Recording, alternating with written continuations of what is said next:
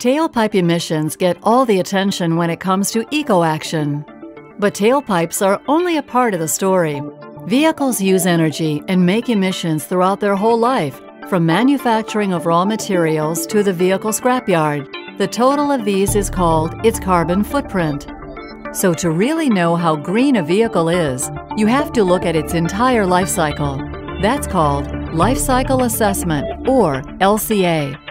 It's the whole story about a vehicle. You see, a vehicle is using energy and creating emissions even before it becomes a vehicle. First, there's creating the material that makes the car. Raw ore is taken from the ground and is used to make the material, which requires energy and creates emissions. Then the vehicle is manufactured. More emissions. Only after someone buys the vehicle and starts driving it do we get the tailpipe emissions, which is also called the use phase of its life cycle. And of course, it requires energy to send it to the scrapyard and recycle it back into materials to make more cars. And then the life cycle starts all over again. The material used plays a crucial role in the whole cycle.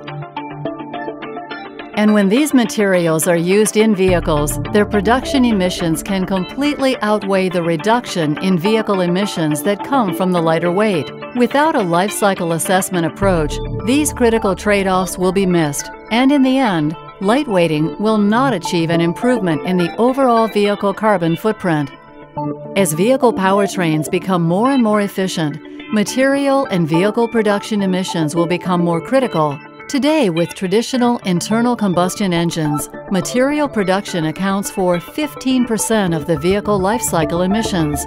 With advanced powertrains, such as plug-in hybrids, that figure rises to 50% of life cycle emissions. In the future, as electricity is derived from renewable energy sources like wind or solar, the life cycle emissions will completely shift, with 85% of emissions coming from vehicle production. If we continue on a tailpipe-only regulations course, a large part of vehicle lifetime emissions will remain completely unregulated. To learn about how steel continues to reinvent itself for low-emissions vehicles, visit www.futuresteelvehicle.org.